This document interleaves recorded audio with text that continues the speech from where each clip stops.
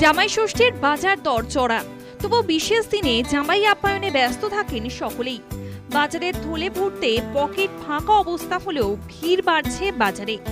দ্বিগুণ হয়েছে সবজির দাম। পাল্লা দিয়ে বেড়েছে ফলের দামও। সেঞ্চুরি হাঁকাচ্ছে আম, লিচু।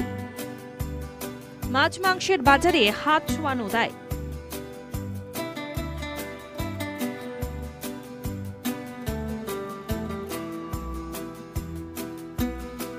মটনের দাম ধরা ছোঁয়ার বাইরে। মাছও আগুন। চিংড়ে বিকোচ্ছে আটশো পঞ্চাশ টাকায়। জামাইয়ের পাতে ইলিশিতে হিমশিম খাচ্ছে বাঙালি। ইলিশের দাম উঠেছে প্রায় পনেরোশো হাজারে।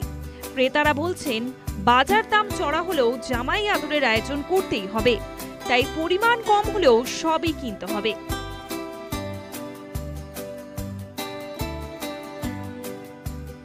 জামাই আমাদের একটু কাঁটাওয়ালা মাছ খেতে পছন্দ করে না। ইলিশ থাকবে ভেটকি থাকবে কাতলা থাকবে তারপরে ওই তোপসে ফ্রাই থাকবে। না না কমলে কেমন? লোক তো কমেনি। একটু মাছের দাম তো একটু বেশি থাকবেই। কিন্তু কি করব নিতে তো হবেই আমাদের। এগুলো রিচুয়ালগুলো তো করতে হবে। রিচুয়ালগুলো তো করতে হবে। কাঁচা সবজি থেকে ফলের বাজার মাছ বাজার সব জায়গায় দাম আকাশ ছোঁয়া। বিক্রেতারা জানাচ্ছেন কিনা বেচা ভালোই হচ্ছে। মানুষ পরিমাণে কম হলেও বিভিন্ন রকম মাছ কিনছেন। ষষ্ঠীর আগে ফলের দামও নাকানি চোবানি খাওয়াচ্ছে সাধারণ মানুষকে। দামটা একটু বেশি আছে? বেশি আছে? জাম আড়াইশো টাকা লিচু একশো ষাট। অন্যান্য দিনের থেকে দামটা বেড়েছে। একটু বেশি আছে। তো তাহলে মানুষ কেমন আসছে? কারণ দাম বেড়েছে বলছেন। মানুষ নিচ্ছে অল্প অল্প। পরিমাণটা কমেছে। প্রচণ্ড গরম তার মধ্যে এই জামাই ষষ্ঠীর বাজারে কোন ফলের চাহিদা সব থেকে বেশি? জাম লিচু এগুলো বেশি। কালকে কি দামটা আরও বাড়তে পারে? কারণ কাল কত করে রো- চিংড়ির দাম?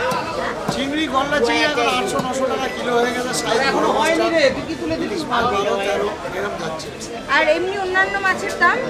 যেরকম আছে ওই নর্মাল সেরকমই চলছে। মানে একটু বেশি হয়েছে।